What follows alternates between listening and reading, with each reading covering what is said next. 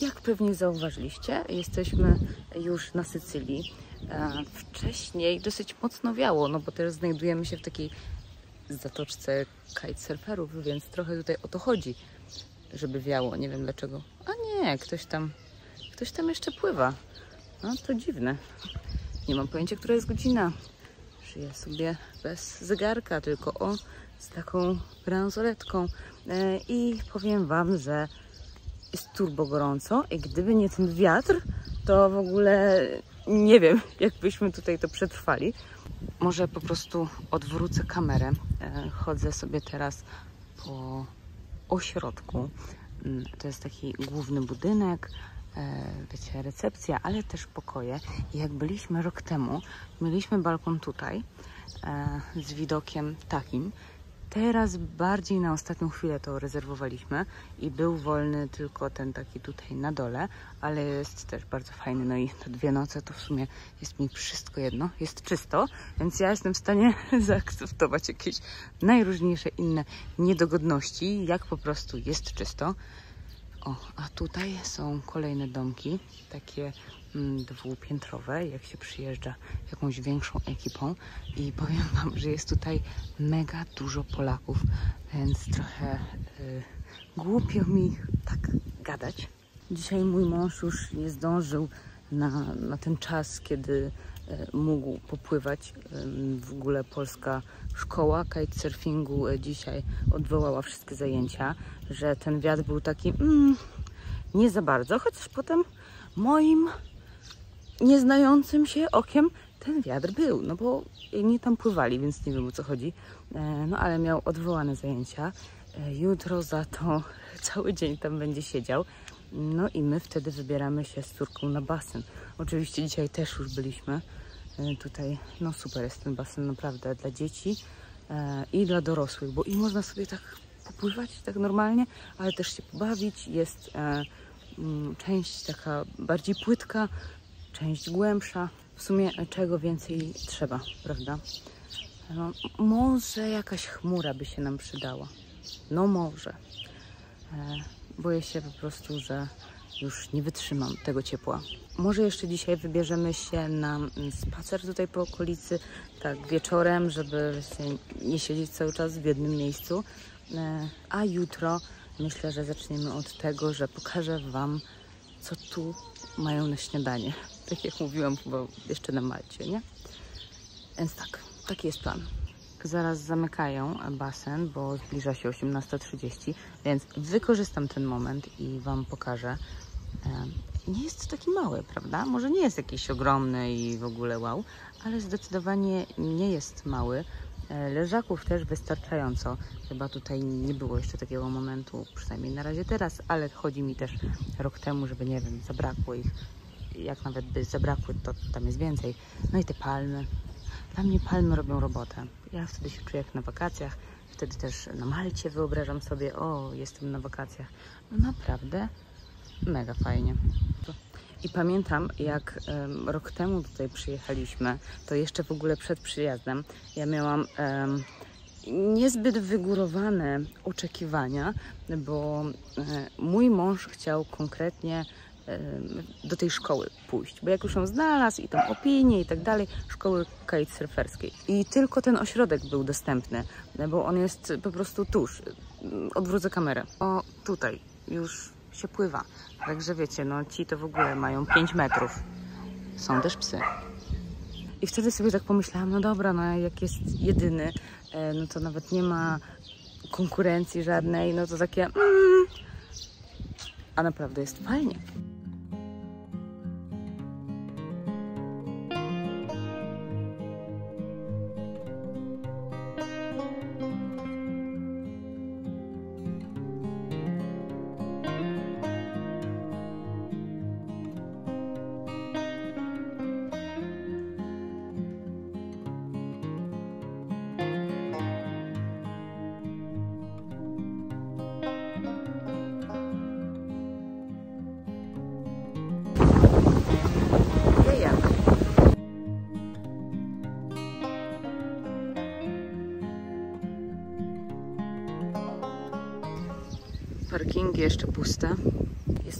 Idziemy na śniadanie, o dziesiątej mamy wymeldowanie i powiedzieli, że możemy być po prostu na basenie. Rok temu też tak zrobiliśmy, że mój mąż poszedł jeszcze popływać na kajcie, a my z córką po prostu siedziałyśmy kilka godzin na basenie.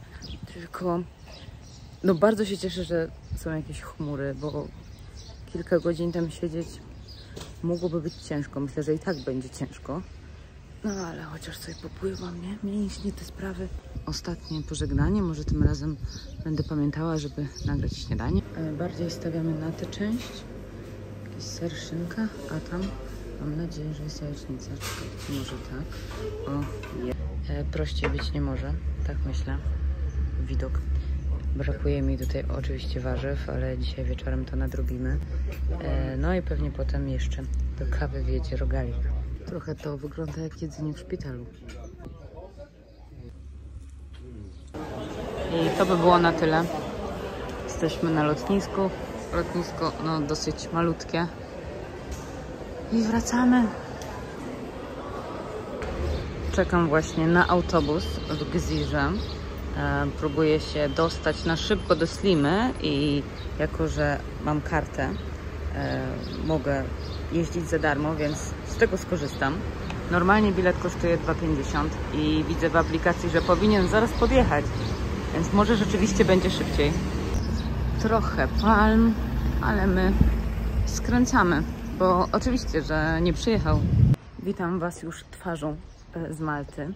E, Powiem Wam, że tym razem jednak liczyłam, że ten autobus będzie, bo mamy taką aplikację, na której teoretycznie w czasie rzeczywistym e, pokazuje, gdzie jest autobus i za ile minut będzie na danym przystanku. I do tej pory ona mi w miarę działała.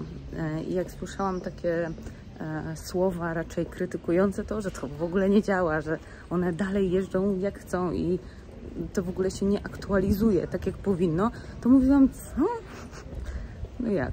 No i teraz jak zaczęłam częściej z tej aplikacji korzystać, no to rzeczywiście. Ale dobra, pójdziemy sobie tutaj.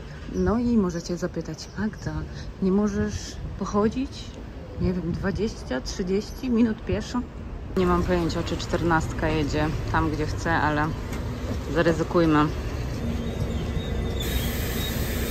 Już będąc w centrum Slimy, e, dokończę swoją wypowiedź. Że jasne, to nie jest długi dystans i widzicie po moich vlogach, że bardzo często e, tędy chodzę. Natomiast mamy dzisiaj 33 stopnie i dla mnie to już jest dużo za dużo. Pod słońce to tak niewiele widać, jakbym miała jakiś nieprzetarty obiektyw, ale bardzo ładny budynek. Bardziej nowoczesna część Malty. O, wysoko, wysoko. E, myślę, że tam można wejść, tylko nie wjechać. Dobra. Cień, wiatr. Bardzo fajnie. Dzisiaj mam kilka rzeczy do zrobienia i też rzeczy wśród ludzi, więc też po prostu nie chcę być spocona jak świnka. Za mną może, zaraz podejdziemy tam bliżej. E, I dzisiaj też e, chcę zajść do centrum handlowego, bo tutaj jest też takie duże, gdyż jutro moja córka ma zakończenie przedszkola. Takie całkowite. Myślę, że ten temat jeszcze e, może rozwinę jutro. Jeszcze w tym vlogu. Zaraz zobaczę. Spodziewane jest nawet 35 stopni i powiem Wam, że nie mam pojęcia, co ubrać. O, kolejna budowa. Tutaj najnowsza budowa, która trochę zasłoni pozostałe budynki. Tutaj mamy taki największy, o, ten też jest gigantyczny. Pamiętam jeszcze czasy, jakie budowali. A tutaj widok na morze. Fal dzisiaj za bardzo nie ma, raczej na spokojnie. Proszę nawet tutaj coś udające trawę. Tak, więc to jest taka bardziej nowoczesna część Malty. I powiem Wam, że ja w takich temperaturach nie funkcjonuję. Mm, lato na Malcie jest dla mnie mega ciężkie. Nie wiem dlaczego tak mam i tutaj ja nie zwalam tego ani na chorobę, na skutki uboczne, na leczenie, na nie wiem, jakieś hormony po ciąży czy coś, bo ja zawsze tak miałam. Po prostu dużo ciężej mi się oddycha, ale tak nie, że o, czuję dyskomfort, tylko naprawdę mam problemy z oddychaniem. E, Kręci mi się w głowie, jest mi słabo i tak, żeby nie było, ja tam, nie wiem, piję wody i takie tam. No po prostu tak mam. Dlatego e, większość lat na Malcie e, spędzałam albo gdzieś za granicą, najczęściej w Polsce, mm, albo po prostu, no, jak było ciepło, to mój dzień wyglądał tak, że wstawałam bardzo wcześnie rano, szłam na siłownię, a potem cały dzień siedziałam przy biurku, gdzie była klima i dopiero wieczorem wychodziłam gdzieś tam na spacer albo pobiegać, e, bo ja bez klimatyzacji, klimatyzacja moim przyjacielem, to tak nie bardzo. A proszę, jaki ogródek. Podejdę może bliżej. Chociaż przy tym ym, mocnym słońcu ciężko w ogóle coś nagrywać. Ale fajnie, że podrywają, podlewają. Podrywają? Nie wiem, może ktoś podrywa. Tutaj wychodzimy na plac.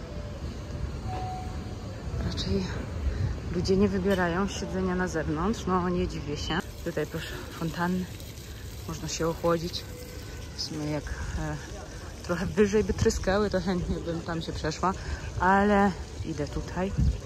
Em, nie za bardzo mam sprecyzowane, co chcę. Po prostu, żeby jakoś wyglądać w miarę e, czuć się też w tym dobrze, że jak się schylę, to wiecie, coś mi tam nie wyjdzie, mm, ale też no, nastawiam się na te 35 stopni, więc raczej coś przewiewnego. Chociaż z drugiej strony e, Maltańczycy jeszcze często chodzą w jeansach.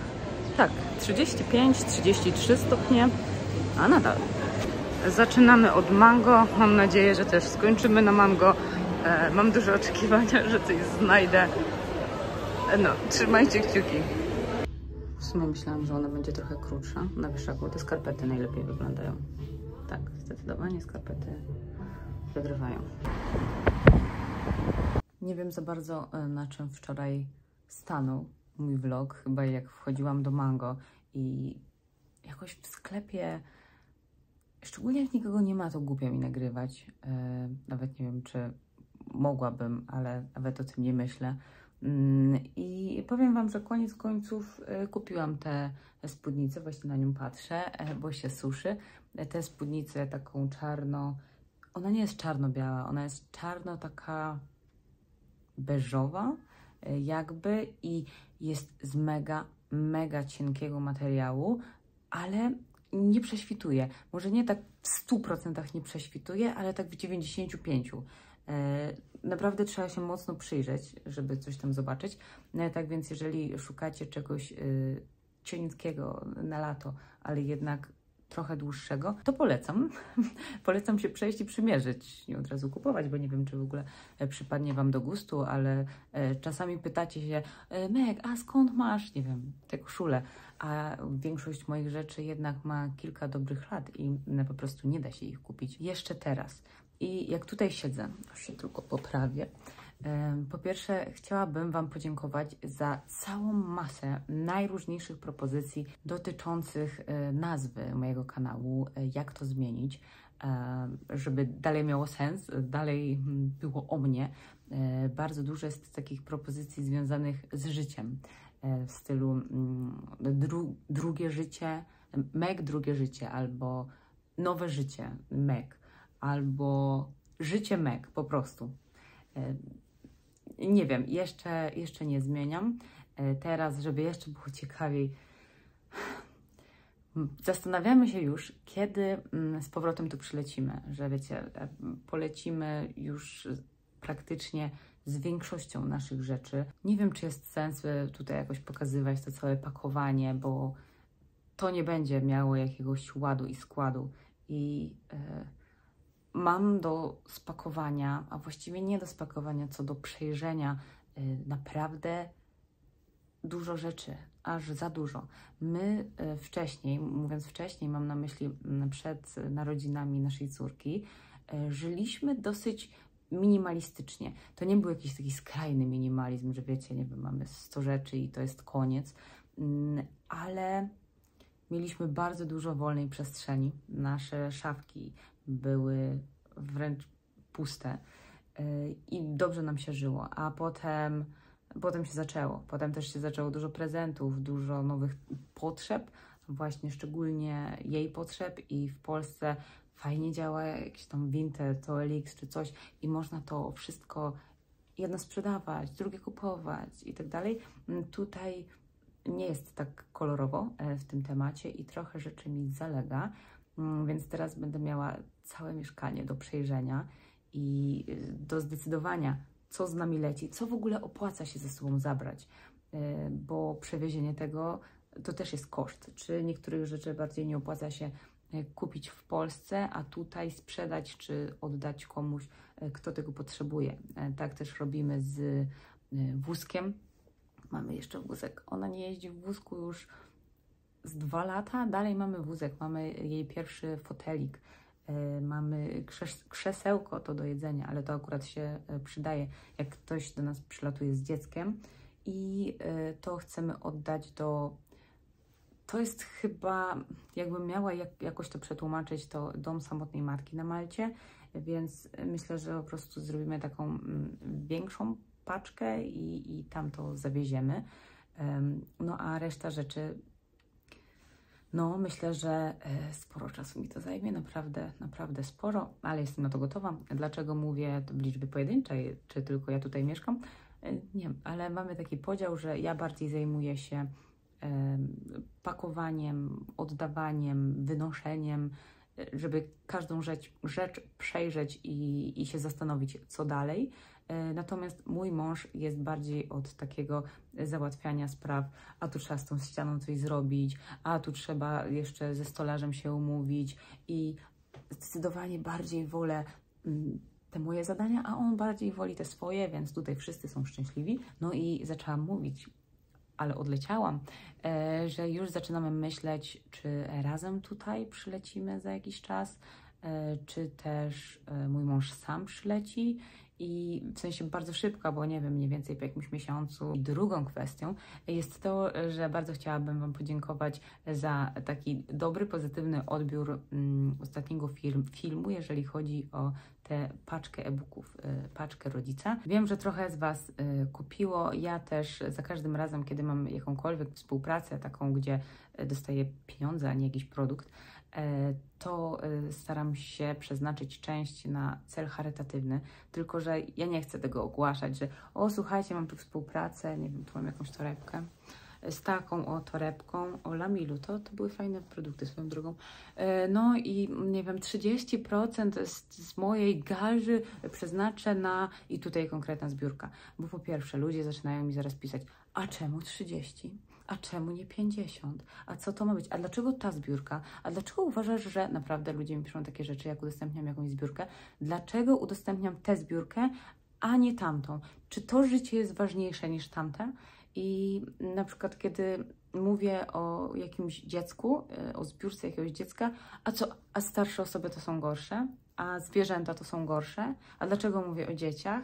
I już tak stwierdziłam, mm, ja sobie po prostu będę, wiecie, tam po swojemu tyle, ile dla mnie jest ok i na cele, które dla mnie są ok, ale no, no, nie zamierzam już tak głośno o tym mówić. Nie wiem, czy pamiętacie, bo to już było dosyć dawno. Robiłam taką pomoc dla Alanka od Ady. Y, Ada prowadzi kanał na YouTubie y, Adrenalin, Adrenalina Vlog. y, I tutaj zbieraliśmy wspólnie pieniądze. Mm, Powiedziałam też, że pieniądze, które tutaj ten film wygeneruje, bo dostaje, wyświetleń, dostaje pieniądze za wyświetlenia reklam, y, które tutaj oglądacie i co prawda no, są to grosze, ale jeżeli film ma dużo wyświetleń, to tych groszy też jest dużo, no nie?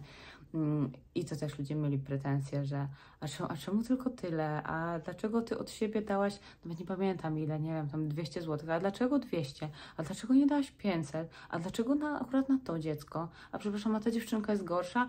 I wtedy stwierdziłam, "Pff, serio, ludziom się nie da, nie da dogodzić, po prostu nie ma takiej opcji.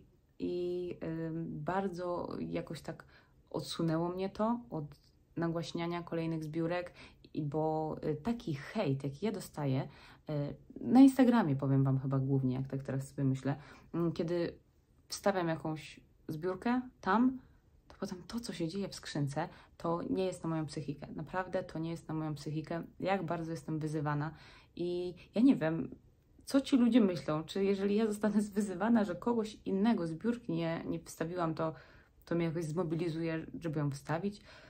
Nie wiem. Mocno odleciałam, ale po prostu e, chciałam Wam podziękować e, za to, że kupowaliście konkretnie z mojego linka, no bo dzięki też tym wszystkim współpracom, e, które mam, znaczy wszystkim, miałam w życiu aż trzy, a działam w internecie już nie wiem ile, z 9 lat, więc te statystyki tutaj może nie są najlepsze, ale bardzo się cieszę, że dzięki temu mogę jeszcze dodatkowo komuś pomagać, więc bardzo dziękuję. No i jak już sobie tutaj e, siedzę, mój monolog prowadzę, e, powiem Wam, że za kilka godzin mamy zakończenie przedszkola, o którym wczoraj już coś tam napomknęłam. Duże wydarzenie, bardzo duże wydarzenie i wiecie, moja córka ma dopiero 4 lata, a to jest już zakończenie całego przedszkola. Już jej rocznik tutaj będzie szedł normalnie do szkoły i w większości będą to pięciolatki, ale ona jest z listopada, więc jeżeli ona by tutaj szła, to jako czterolatka jeszcze mm, zaczynałaby już szkołę. I to jest taka szkoła, gdzie normalnie siedzimy w ławkach, podręczniki, zeszyty, te sprawy. Tylko słyszałam, nie wiem, czy to jest jakieś potwierdzone, bo słyszałam to chyba tylko od dwóch osób, że w pierwszej klasie y, jeszcze nie ma mm, prac domowych, więc to jest ewentualnie czymś takim przejściowym, ale to nie jest tak jak u nas zerówka, że tam jest y, no, dużo zabawy, ale też dodatkowo jeszcze jakaś nauka. Tutaj po prostu się siedzi, tablica, ławka i, i tak dalej. Mm, więc e, no, duże wydarzenie dzisiaj dla nas. Y, oni też tam mówią, że ćwiczą, bo wiecie, w tych czapkach tam i tak dalej. Mm, też mówiłam o tym na Instagramie, ale powiem też tutaj, bo po prostu nie wierzę, że mm, znowu dałam się na to namówić. Pamiętacie, jak Wam w grudniu opowiadałam o tej kartce, e, że stwierdziłam, a mogę zrobić taką kartkę podziękowania dla pań z przedszkola i tam umieścić tak jakby zwierzątka, ala te dzieci, podpisać tak i tak dalej. I miałam kłótnię z panią taką przewodniczącą, powiedzmy, e, czy umieszczać tam jednego chłopca, którego rodzice nie złożyli się z nami na prezent, tylko sami dali e, coś tam od siebie. E, I ja byłam za tym, że no to jest kartka całej grupy, co będzie wisiała w klasie, tam u nich, wiecie, w pomieszczeniu i nie będzie jednego dziecka, co mam wykreślić. I jedna mama zapytała, czy teraz będę mogła też zrobić na zakończenie takową kartkę, tylko że po prostu tam te dzieci tak twarzą umieścić i tam te czapki, po prostu przygotować taką grafikę już um, dziękującą paniom za, za całe, e, całe to przedszkole, no bo jednak to takie duże zakończenie etapu w życiu, nie? I jak dostałam tę wiadomość, to powiem Wam takie, mówię, nie wiem co robić, nie wiem co robić, nie wiem co robić. E, ja się zgodziłam, i tylko tak powiedziałam do męża, dlaczego? Dlaczego w sumie się zgodziłam? Czasami, wiecie, chcę trochę pomóc, ale nie myślę o tym, co będzie dalej. I potem ta mama znowu nie chciała się składać na, na ten prezent, bo powiedziała, że po prostu ona ma coś osobnego i dla mnie to jest totalnie okej. Okay. Ja, wiecie, składaliśmy się chyba po, po 30 euro więc wyobraźcie sobie, że to jest 30 euro razy 15 dzieci w grupie. To jest bardzo duża kwota i te 30 euro to też jest uważam duża kwota. To nie jest taki przelicznik, jak niektórzy mi piszą, że o 30 euro na Malcie to jest jak 30 zł w Polsce. Nie, ale tym razem nie było takiej kłótni, e, tylko było bardziej była bardziej rozmowa, że ci rodzice w ogóle chcą i tak dalej, więc okej. Okay. No i zrobiłam tę kartkę, muszę przyznać, że mm, całkiem ładnie mi wyszła, jestem z siebie dumna yy, i cieszę się, że jakoś tam w miarę to wszystko się tam poukładało i nie było już yy, niezręczności, tak wśród nas wszystkich. Yy, no i Niestety dzisiaj, tak jak się spodziewaliśmy, jest mega gorąco. E, teraz chyba mamy 33 stopnie e, i nadal mają być 33 stopnie e, po południu, kiedy tam idziemy, a to wszystko odbywa się na zewnątrz. I tam będziemy po prostu stali chyba wiem, z godzinę, półtorej na słońcu. Mm, tam nigdzie nie ma cienia i trochę nie rozumiem, dlaczego robią to na zewnątrz, ale ale robią. Mam nadzieję, że te dzieci w ogóle tam wystoją. I tak mówię o tym, jak jest tutaj gorąco i praktycznie ten temat wraca co roku i ja wtedy narzekam. Stali widzowie wiedzą, że narzekam na ten upał, no ale powiem Wam, że to jest jeden z powodów, dla których właśnie wyprowadzamy się z Malty.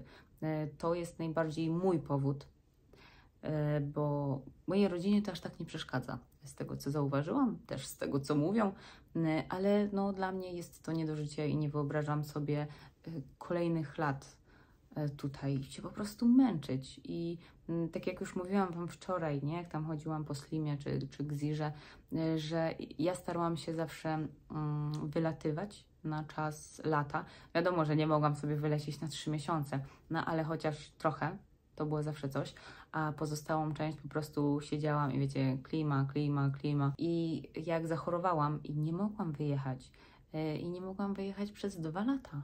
No, dwa lata z rzędu, to było straszne, bo dla mnie to była gigantyczna męczarnia, która utwierdziła mnie w tym, że no, nie wyobrażam sobie po prostu tutaj życia e, tak na kolejne 5, 10, 15 lat, bo za dużo tego życia mam wyciętego z życia.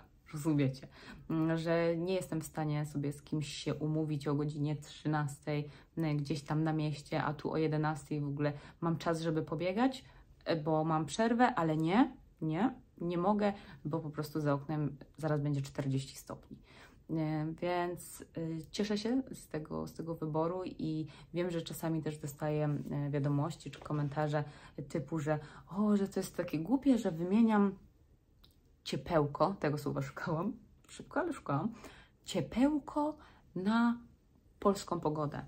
Dla mnie to nie jest ciepełko, tylko dla mnie to jest taka y, nie, nie do wytrzymania patelnia, i ja naprawdę wolę polską pogodę, bo wiecie, zawsze można gdzieś wyjechać na wakacje, gdzie jest cieplej, jak chcemy po prostu sobie, nie wiem, poleżeć nad basenem, na plaży i super, jest ciepło przez tydzień, dwa, ale to nie jest takie właśnie fajne ciepełko, nie? tylko to są dla mnie temperatury, yy, które przekreślają mi część życia, kiedy ja leżę i po prostu robię czy ja umieram? No, więc tak to wygląda. Może niektórzy mnie zrozumieją, może nie, yy, zobaczymy.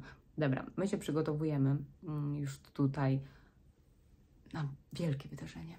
Nie wyobrażam sobie jeszcze, jak to będzie wyglądało. Yy, może już opowiem to, jeżeli coś będzie się ciekawego działo, nie? Bo jeżeli tam będzie, wiecie, piosenka i wręczenie dyplomów i do domu, no to też e, co tu mówić. Mm, ale jeżeli coś stwierdzę, że jest ciekawe, to opowiem po prostu e, w następnym vlogu.